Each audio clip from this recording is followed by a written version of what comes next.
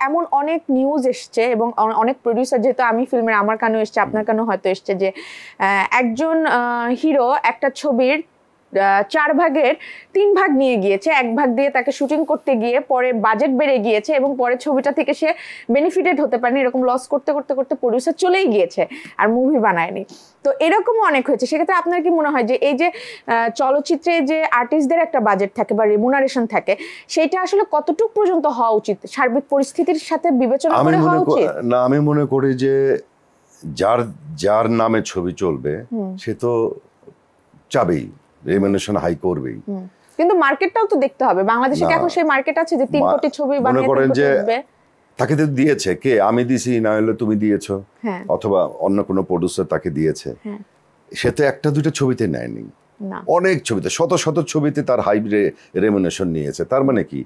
তাকে নিয়েছে মনে করো যে যে তিনটা চারটা বা দশটা ছবিতে নিল ছবি আর চলছে না। তখন তাকে আর নিত না। কিন্তু তাকে এখনও নিতে চায়।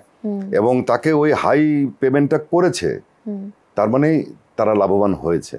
তাহলে এরকম কথা কেন ছড়াচ্ছে? এটা খামাখায় একটা আর্টিস্টের খামাখায় বদনাম করা। কারণ আমার প্রডিউসার আমি আমি আমি জানা মতে যে ওনার বাড়ির গেটের সামনে দাঁড়িয়ে থাকতো প্রডিউসাররা। ঠিক না? যে সেই শিডিউল দিলে ধন্য হয়ে যাবে। তা তুই নিলি কেন? অবশ্যই শিডিউলটা এজন্য নিয়েছে সে জানে তার ছবি চলবে। ছবি চলবে। আমার কথা হলো যদি তুমি না দাও আমাকে আমি তো পাবো না। আমি আমি চাবো। আমি আমি- আমারটা চাবো আমি। কেউ হ্যাঁ, না। কেউ না দিলে তো আর জোর করছে না। এরকমও প্রডিউসার আসছে যে তিন ছবির টাকা একবারে দিয়ে দিছে। ও আচ্ছা ঠিক আছে তোমার যদি শিডিউল না পাই পরে শিডিউল না পাই. দেখা গেল যে তার যে রেমুনেশন সেটা তিনটা ফুল এন্ড ফাইনাল পেমেন্ট করে দিয়েছে। আপনারা যখন ছিলেন আপনারা কিন্তু সুপারস্টার অ্যাট এ টাইমে তকমা কিন্তু চার পাঁচ জনের ছিল।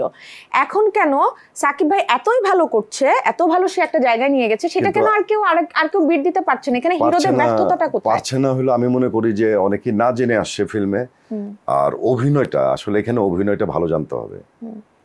হয়তোবা ওই মাপের অভিনেতা আসছে না। সাকিবের সম মানে সমান তালে যাওয়ার মানে কোনো আমার মনে হয় না যে কোনো ভালো অভিনেতা এখনও তৈরি হয়েছে আর কি। তবে তাদের চেষ্টা করতে হবে। আমি মনে করি যে পারবে না এরকম কোনো কথা নেই। কারণ এই যে বাপ্পি আছে সাইমন আছে তারপর ইয়া ওর নাম কি? আরিফিন শুভ আছে। অনেকেই আছে এরা চেষ্টা যে হ্যাঁ এরা যে চেষ্টা করছে না তা না। আসলে এদের দুর্ভাগ্য। এরা এরা হ্যাঁ, আমি কিন্তু এদের দোষ দেই না। এদেরকে খালি বলব এদের কপাল খারাপ। এরা দুঃসময়ে আসছে ফিল্মে। কারণ আমরা যখন ফিল্মে ঢুকছি তখন শুনছি বারোশো পনেরোশো হল। হ্যাঁ। এরা যখন ঢুকছে তখন দুইশো আড়াইশো হল। এরা কি করবে? বারোশো পনেরোশো হলে কিন্তু অত টাকা চলে আসতো চলে আসতো। এখন মনে করেন এখনকার যারা হিরো হিরোইন আছে বা যেসব শিল্পীরা আছে এদের দুর্ভাগ্য হইল যে হল নাই। তুমি যতই ভালো অভিনয় করো আমি যতই ভালো অভিনয় করি যত সুন্দর একটা ছবি বানাই এই এক দেড়শো হলে রিলিজ দিয়ে সেই টাকাটা আসার কোনো চান্স নাই।